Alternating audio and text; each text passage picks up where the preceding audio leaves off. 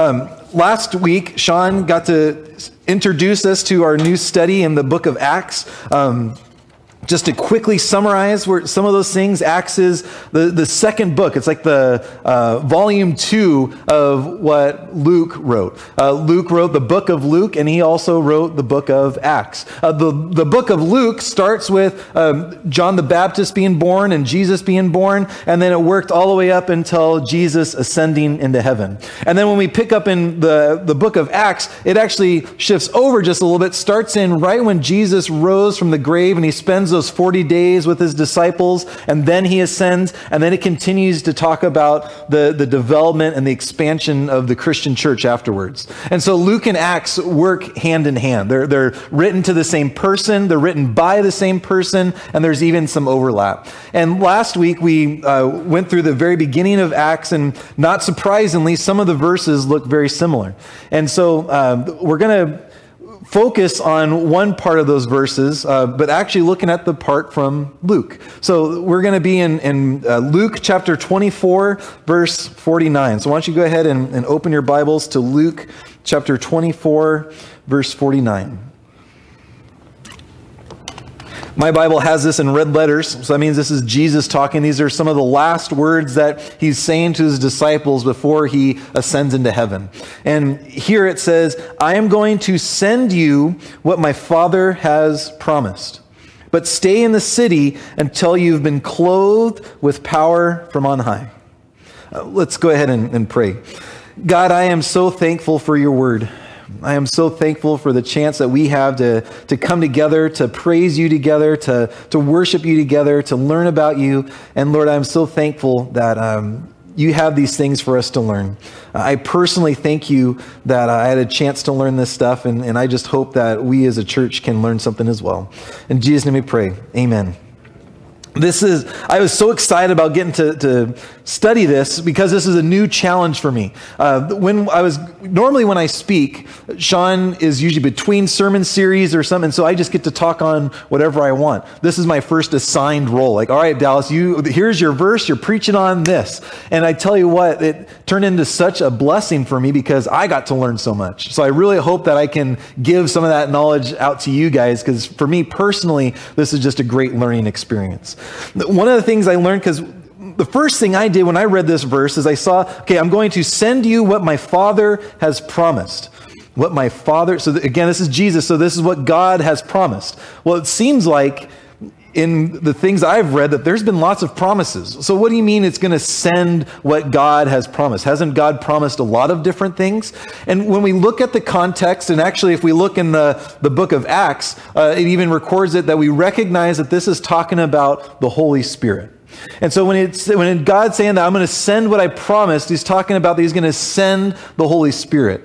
And one of the things that I was very surprised when I got to read into this is for whatever reason, I had the misconception that the Holy Spirit was kind of for, for these disciples a new idea. That this was something that wasn't talked about very much. This was this radically new thing that, you know, not only did Jesus, you know, turn over a lot of beliefs that people had had about the church and about God, but now he introduces this whole idea of a Holy Spirit Spirit. But here it, it, implies that the Holy Spirit has been talked about way before.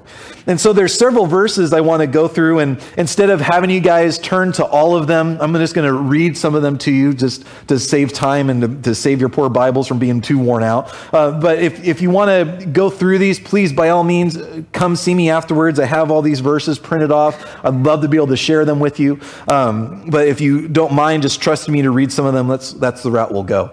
Um, so one of the times that we see the Holy Spirit talking about is in Joel chapter 2. And he says, I will pour out my spirit on all people. Your sons and daughters will prophesy. Your old men will dream dreams. Your young men will see visions. Even on my servants, both men and women, I will pour out my spirit in those days.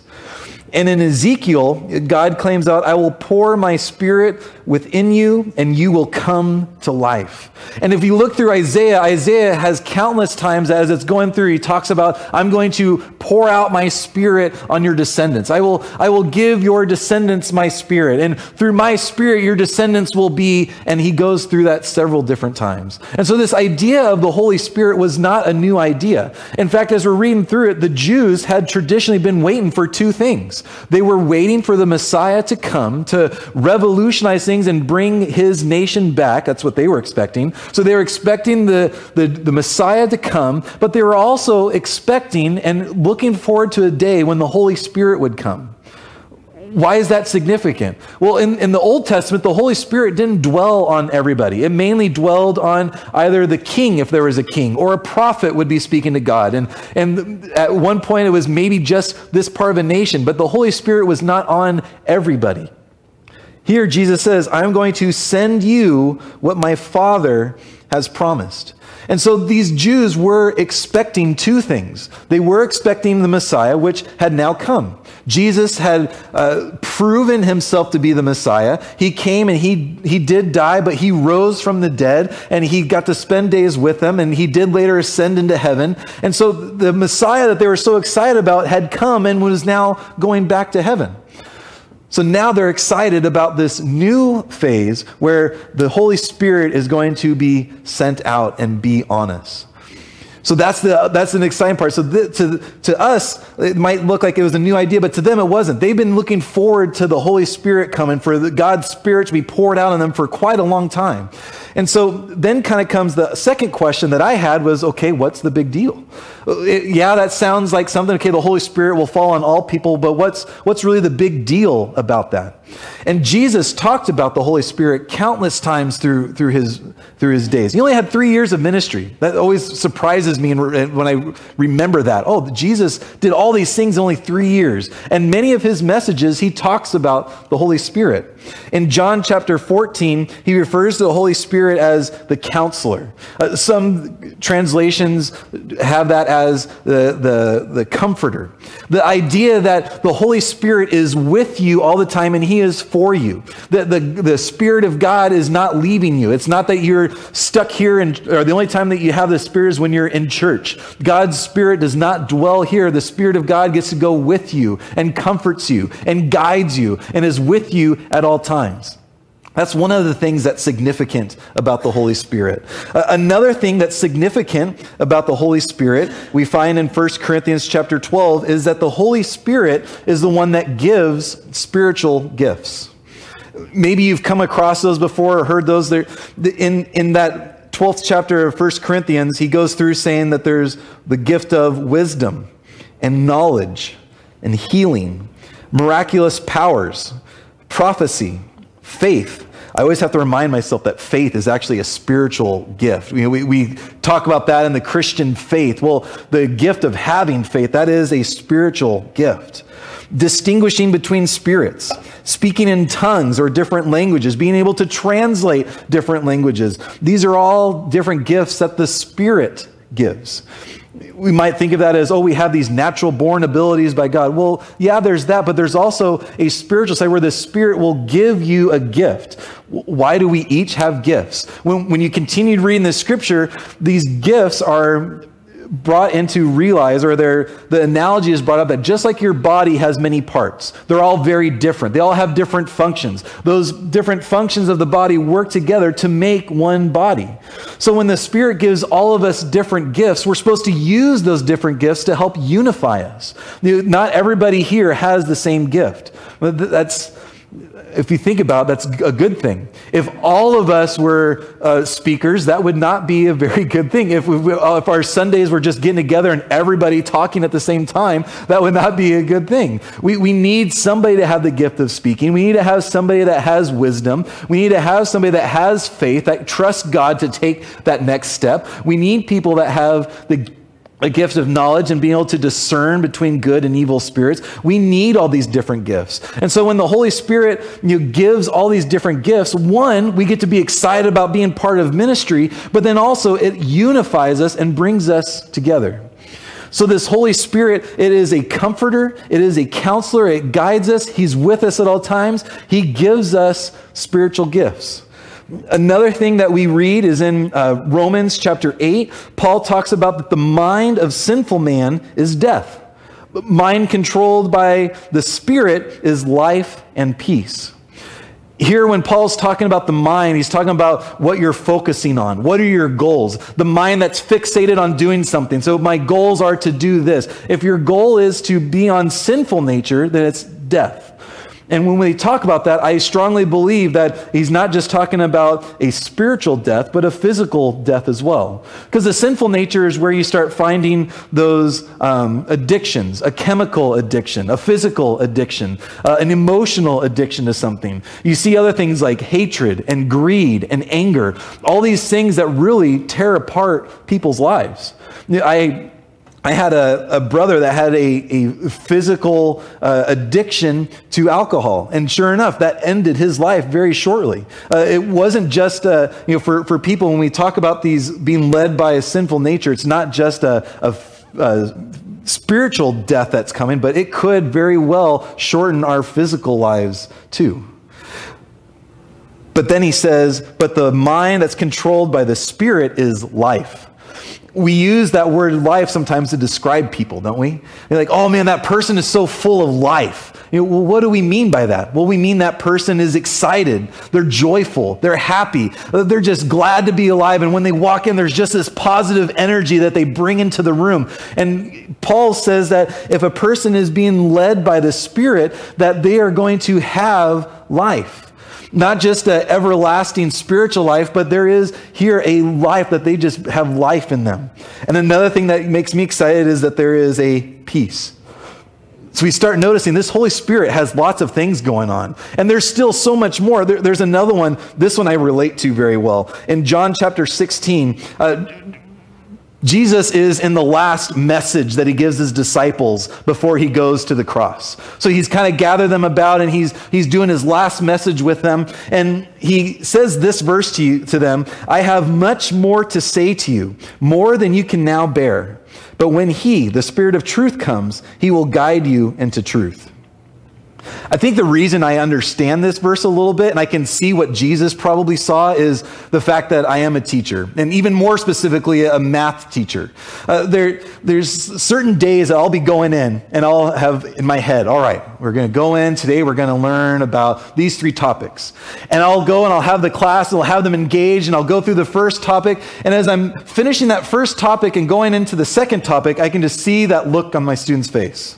Just glazed over. Just there, there's nothing, and I can tell it's not always that they're trying to be defiant or that they're just not paying attention or that they're super sleepy. There's times that I am going through this content, I can just tell that, okay, they have reached their maximum ability to learn for that day. There is nothing else that I can cram into their head. If I choose to continue teaching, I'm going to have to reteach that the next day because they didn't, they are not going to get anything else. And so, what do I have to do as a teacher? I have to stop, I have to pause, and we have to go over that stuff that you can tell they're wrestling with. Not that they're not trying, just you can just tell that their, their minds in the development state that they're in, they are just stuck there and they need to go over it. Jesus had that same response when he was looking at the disciples. I have so much that I want to tell you, but I can tell right now that it's more than you can bear. It's more than you can handle. I have so much more I want to tell you, but I, if I tell you, you're still going to be thinking about the last thing I said. You're not going to hear anything else. So I can't tell you anymore. And if we stopped there, we would be real discouraged. If we stopped there, we'd think, man, Jesus had so much more. That three years of ministry, think of what if God would have allowed him to be here for 15? What if he could have been here for a full 50 days of ministry? What if there is that part of it? That was only three years. But Jesus gives hope with it. He says, But when he, the Spirit of truth, comes, he will guide you into truth. So the Holy Spirit does something miraculous. The Holy Spirit continues to teach us truth. The Holy Spirit continues to teach us the difference between right and wrong. The Holy Spirit continues to show us what Jesus was showing us, which is how to have a correct and true relationship with the Father. This Holy Spirit continues to minister to us. The, the work that God had for us and the things that God wanted to teach us didn't end when Jesus ascended into heaven. In fact, it just continued in a different different way. The things that God wants to show us is still revealed to us through this Holy Spirit. So you're starting to catch on this Holy Spirit is a big deal. Uh, he, he's with us. He's uh, with us all the time. He's comforting us, He's counseling us, He's um, giving us different spiritual gifts, He's given us life, He's given us uh, the ability to continue to learn. In fact, in Luke chapter 12, when the disciples are concerned, like, well, how am I going to stand up? How am I going to know what to say? Jesus uh, comforts them and says, look, when you are persecuted, when you are given trials of many kinds, when you are before people and they challenge you and they ask you uh, how you're doing these things, the Holy Spirit will teach you what to say. And so this Holy Spirit will help you. And so that's, for me, one of the biggest questions I always have, especially now when you hear about all these um, people that are being persecuted, imprisoned, and even killed for their belief. There comes that common question could I do that? Would I have the strength to be able to say that I'm a follower of Jesus if I knew that there was a gun to my head? Or if I knew that, you know, could I do that? Or what if one of my coworkers, if you know, I'm in a, a secular school, so there's lots of coworkers there that, that don't believe in the Father or, or in God. And so what if one of those people ask me why I believe what I believe? Will I really know what to say? And you can start getting nervous about that. But in Luke, it talks about how the Holy Spirit will guide your words, will help teach you what to say, will, will help you know what to say at the right moment. In uh, another thing that, and this is a, a, scripture I do want us to turn to. So if you could turn to Galatians chapter 5. In Galatians chapter 5, we start um, this, or Paul uh, talks about this thing of the fruit of the Spirit. So the fruit of the Spirit. That's such a church word. Once I started uh, helping out with youth ministry and got more involved with this, I started realizing that there are lots of church phrases we say and don't really think about, well, what does that mean?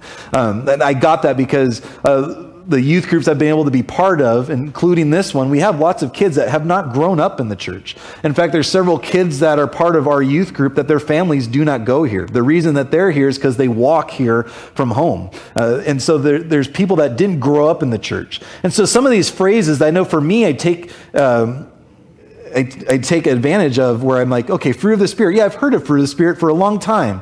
But fruit of the Spirit to somebody that might not realize that just kind of could be lost. And so I want to make sure we understand fruit of the Spirit. We know what type of a tree is by what kind of fruit it bears.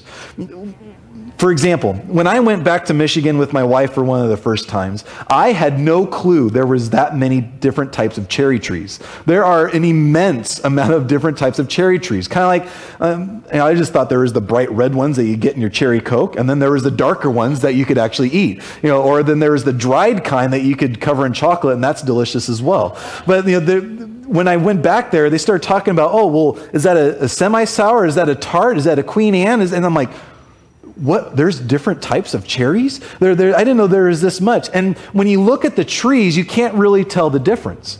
If you're just looking at it like yeah it's a cherry tree. But once it starts producing fruit you realize oh that's a tart. Or oh that's a semi-sweet. Oh that's a queen anne. And there's all these different types of uh, different types of cherry trees. And you don't quite realize that until it starts bearing fruit Kind of the same thing with apples. It seems like we're a little more familiar with apples. Is that a Granny Smith? Is it a red apple? Is it a Fiji apple? Is it a Honeycrisp apple? You just see an apple tree and you don't really know what that is until it starts bearing fruit. When we talk about fruits of the Spirit, we're saying, okay, if the Spirit is in you, these will be the things that come out. This will be the fruit. This will be proof of the Spirit is working in you. And here it first starts by talking about what uh, somebody that what the fruit are of somebody that's not led by the spirit. Uh, the, the, acts of the sinful nature this is in verse 19 so galatians 5 19 the acts of sinful nature are obvious. Sexual immorality impurity debauchery idolatry and witchcraft hatred, discord, jealousy, fits of rage, selfish ambition. Doesn't this sound like fun? Dissensions, factions, envy, drunkenness, orgies, and the like. I warn you, as I did before, those who live like this will not inherit the kingdom of God. But the fruit of the Spirit, so the results of a person that is living by the Spirit is love, joy, peace, patience, kindness, goodness, faithfulness, gentleness, and self control. There is a radical transformation between a person controlled by sinful nature and the person controlled by the Spirit of God there's a big argument going on right now, you know, especially you know, in, the, in the wake of all the terrorism attacks, domestic and international, um, other things you know, with uh, there's all these battles, and so people start talking about they want find something to blame. Well, it's it's society and culture because evil is a learned behavior. People aren't naturally born that way. And I've finally come to the decision that person that's making that claim doesn't have kids. they, they, have, they have not seen what a kid is like when they're first born. Uh, one of my favorite stories is Jackson when he was about a year old. He, he wasn't even quite a year. He was 10 months. And at that age, I started recognizing that I did not have to teach Jackson to be evil. I did not have, and I don't say, I'm not saying that Jackson's evil. Jackson is a wonderful kid. I love Jack. He's such a cute kid. But anyways, when he was about 10 months old, so he wasn't even walking yet, but he had learned to pull himself up onto things. So if the couch was there, he could pull himself up. And if the TV cabinet was there, he could pull himself up. Well, a lot of friends of friends had put in a lot of scary stories for me with this pulling up by TV cabinets because I actually knew of a couple people where the TV had fallen over. You know, one of the disadvantages of these flat screen TVs that they were a lot easier to fall over. And so we got real paranoid about Jackson crawling and being around the, the TV.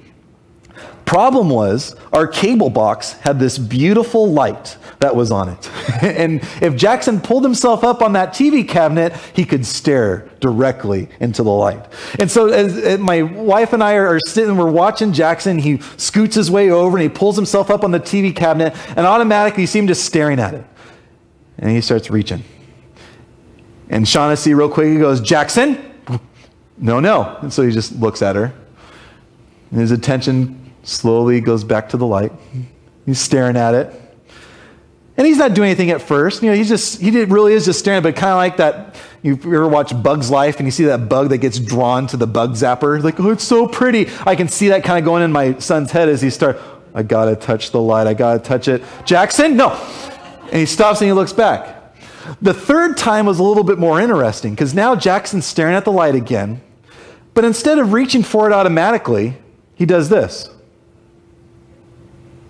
and watches mom the entire time as he's reaching for the light. I'm like, you little stinker. At 10 months old, he's already trying to test his boundaries and see what can I get away with. I know I'm not supposed to touch this light, but I really want to touch it. Will I still get in trouble? If I'm looking at her. And so he's already testing the limits of what can I get away with. He didn't have to teach or have to be taught that. He didn't have to learn to test the limits. He didn't have to learn to want to do something that he knew he wasn't supposed to. Mom just told him seconds ago that he's not supposed to touch the light. But he's just naturally born that way. And we, we recognize this that it's a lot easier for a kid to learn bad behavior than it is for that kid to learn good behavior. In fact, here it talks about how it really takes the fruit of the Spirit, that it takes the Holy Spirit coming into your life to start developing this good behavior. Yeah, we can train our kids to do certain things, but when we start talking about the Holy Spirit, the Holy Spirit can change the heart. And then we can start having these things come out of it.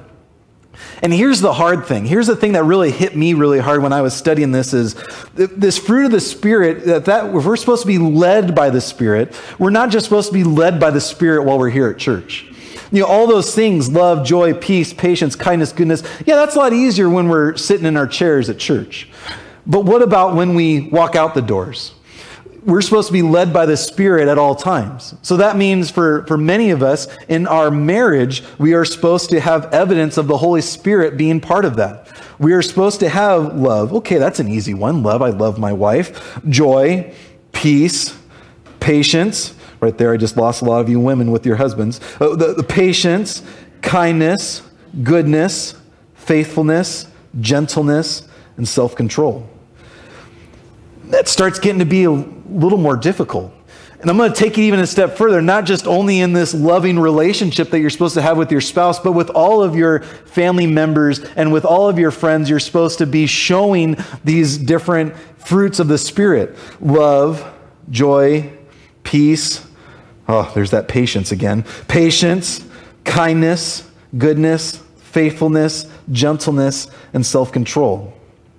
But take it even a step further. Like this, if you start realizing like this is hard to do. Uh, start thinking of your workplace. Start thinking of that annoying coworker that you always avoid at every single cost. This person, we're supposed to still be led by the Spirit in all the things we do, even at work. And so that means at work, we're supposed to be filled with love, joy, peace, patience, kindness, goodness, faithfulness, gentleness, and self control this isn't going to be an easy task.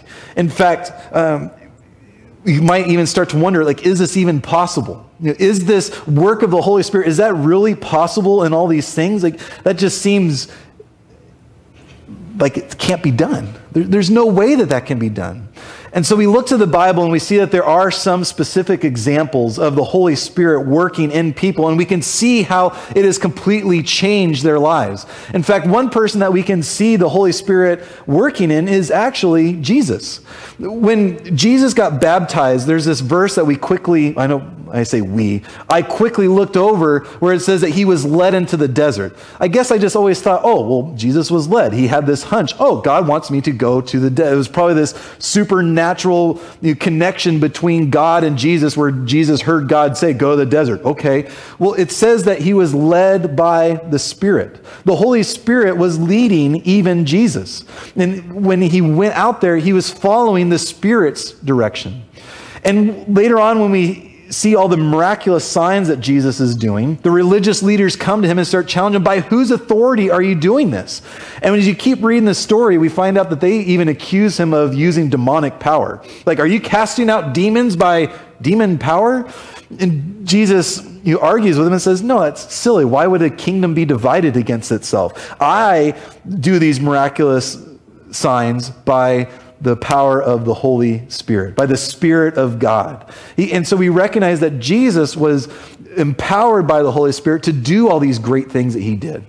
When we look at Peter, good old Peter, I love Peter. I think it's because a lot of people love Peter, and I think it's because we relate to Peter. Because Peter was this guy that was just crazy and rash, and you know, he was the person that jumped out of the boat and started walking on water. But then what did he do? He started doubting, and he started to sink. And then as he's talking about who Jesus is, and Jesus says, Man, Peter, you're going to deny me three times. And he's so bold, he says, No, I wouldn't deny you three times. And sure enough, what does he do? He gets challenged. Jesus is arrested. People are wondering, Peter, are you one of his disciples? I think I saw you with the disciples. No, it wasn't me. And he does it three times. The same Peter that had that weakness, later on, we find out does some amazing things. Uh, at the time of Pentecost, which we'll study later on with, uh, in the book of Acts, the Holy Spirit fell on Peter and he gave one of the boldest, most radical sermons ever to a big crowd of people. Now, not only is he talking about Jesus, but he even starts to accuse them. Like, look, Here's Jesus. He was the Messiah, the one that you crucified, the one that you persecuted, the one that you rejected and started going after these people. And then through that, after he boldly accused them, says, But you also have this hope. And then he began to describe the hope that they had.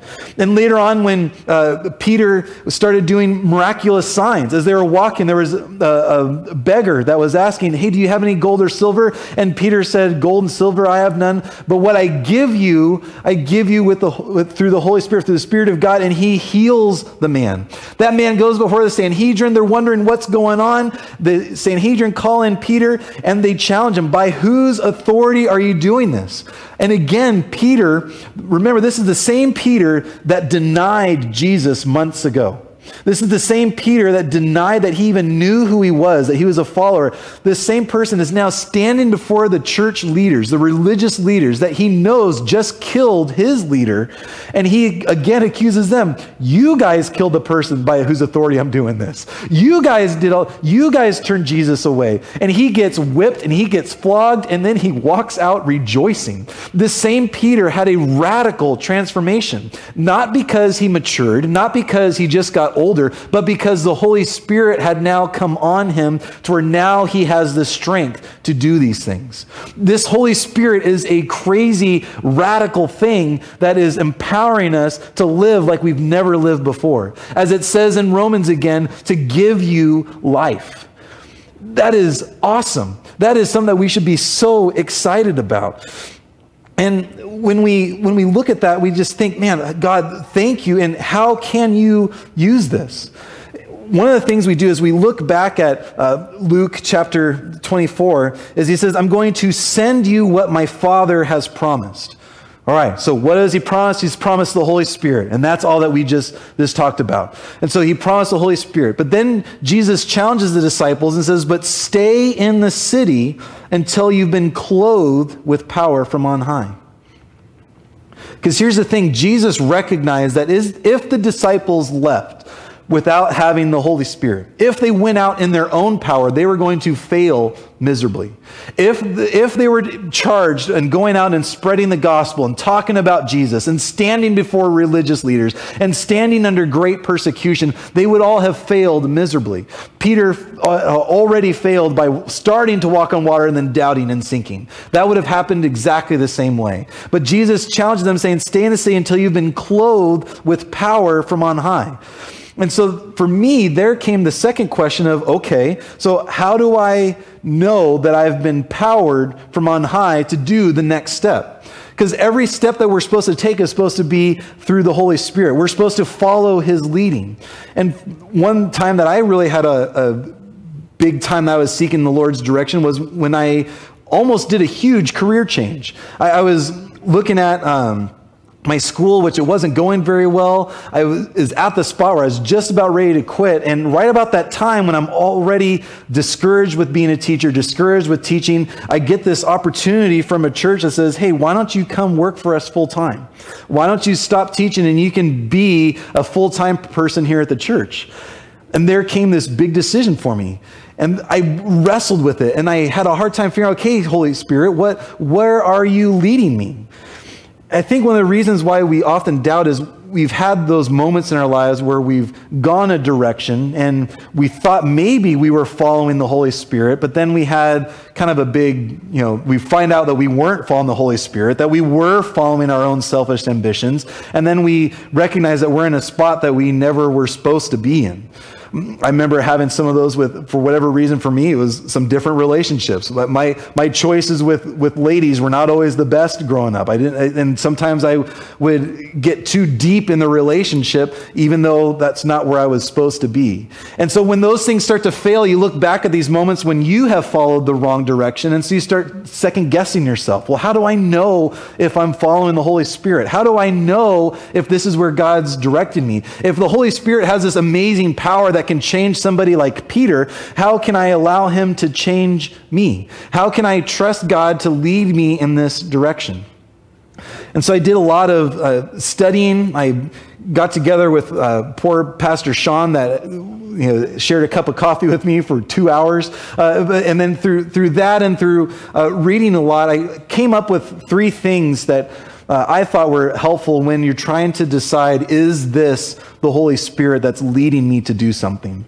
And the first thing that I, I realize is that if you're feeling that the Holy Spirit's leading you somewhere, it must agree with Scripture. So that's the first thing. It must agree with Scripture. Because the same. Um, we often think of that a whole bunch of people wrote this book. Well, that's true. A lot of different people's hands wrote this book, but the same Spirit wrote this book. The same Holy Spirit inspired the words of the person to write this book. And if it's the same God yesterday, today, and forever, that means the Holy Spirit that wrote these uh, verses way back when, over 2,000 years ago, that means that same God is going to say the same thing now. And so if you are tempted to go a direction and it is against Scripture, then it's not of God. It must agree with Scripture. Another verse that I really enjoyed was in John chapter 14, verse 26. That Jesus, again, talking about the Holy Spirit, says, He will teach you all things and remind you of everything I have said. The Holy Spirit will even bring to your mind these scriptures, which also shows the importance of studying scripture. But the Holy Spirit will bring to your, your mind that you can remember these different scriptures as you're debating on something. When Jesus was led into the desert, if you've ever looked at it real closely, you'll notice that Jesus defended himself, that fought against Satan by using scripture. Scary part is that Satan was also using scripture, so you do need to make sure that you understand scripture. But when Jesus was tempted to do things, the way he fought off that temptation was by using scripture. And so if we ever feel God's leading, we got to first of all make sure does this agree with scripture? The second thing that we need to make sure we always do is to pray. We, there's a verse that says we need to pray without ceasing. Uh, there's another verse that talks about the Holy Spirit, how it will pray on your behalf, even when you don't understand or know how to pray or know what you need to pray for. The Holy Spirit is this connection that allows us to be connected with God. Without the Holy Spirit, we would have a separation between us and God, but the Holy Spirit allows us to have a connection. And so if we're praying, then it's at that moment that we can receive direction from the Holy Spirit. And so as we're as we're praying, we first of all need to check and make sure that we are agreeing with Scripture, but we also need to make sure that we're talking with God, that we are not only talking and presenting things, but we need to make sure that we're on the receiving end as well, that we're allowing the Holy Spirit to talk to us, because He does still want to talk to us. I hope I can speak that truth into you. The Holy Spirit is still wanting to help guide us. And some people, it might be an audible voice. It's not for me, I don't hear an audible voice, um, but it, He can still talk to you and through you through the Holy Spirit. And then the third thing is to ask yourself the question does it produce fruit? Again, going back to that fruit, that the fruit of the Spirit is love, joy, and here's the biggest one for me peace. If I am trying to follow the Holy Spirit, then I am going to have a peace about it. And notice it doesn't say easy. When we look at the fruits of the Spirit, it does not say that it's going to be easy, but it does say that it's going to be peaceful, that you will have a peace about it. And so, as you're seeking God's direction, maybe you're looking at a, a, a big physical move. Maybe you're looking at moving to some different place. Maybe you're looking at a career change. Maybe you're looking at some big step with your family. And all the things that you're doing, you always need to look and see okay, does this move, will it produce fruit? Am I going to have peace about this? Again, that there's a difference between easy and peace. Not saying that, oh, this is the easy thing for me to do, but do I have peace about this? And so that becomes our, our big thing. And, that, and for me, that was just something that I was able to walk away with and I was super excited about because I think I needed this. This is something that I needed to, to have, and, and God just really was able to work with me. So I was super excited about it. That, um, that the Holy Spirit is wanting to work in us and through us uh, still to this day. You know, Jesus' ministry did not end when he ascended, but Jesus' ministry is still at work, and he's still wanting to work in us and through us because he is our counselor. He is our comforter. He will teach us what to say. He will remind us of scriptures when we need it. And he is going to give us power, this like the power that he gave the disciples as they went and spread out the gospel to all the earth. And that is what a great hope that it is. And so as you guys are, are going away, I just hope that we can kind of remember the, that got to agree with scripture. We got to pray about it and then ask yourself, does it produce fruit? Amen. Amen. All right, let's uh, let's go ahead and pray together. God, I am so thankful uh, for who you are and for the ministry that you have um, in us and for us and through us. Um, God, help us to trust your amazing power. Uh, help us to trust your leading. Uh, help us to follow in the direction that you would want us to go. And just like you said in Luke 24 49, uh, help us to wait on you. The disciples, it was waiting in a specific city. But Lord, to us, we recognize that we just need to wait for you and to make sure that we have your power to take the next step. Because, Lord, in and of ourselves, we will screw up. Uh, our sinful nature will just mess things up.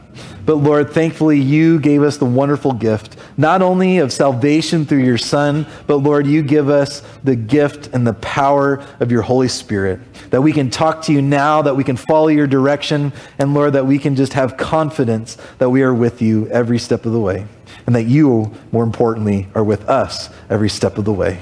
And that you're not weak, or that you won't fail us, but that we can know that we have your power Lord, thank you for who you are. Uh, thank you so much. In Jesus' name we pray. Amen.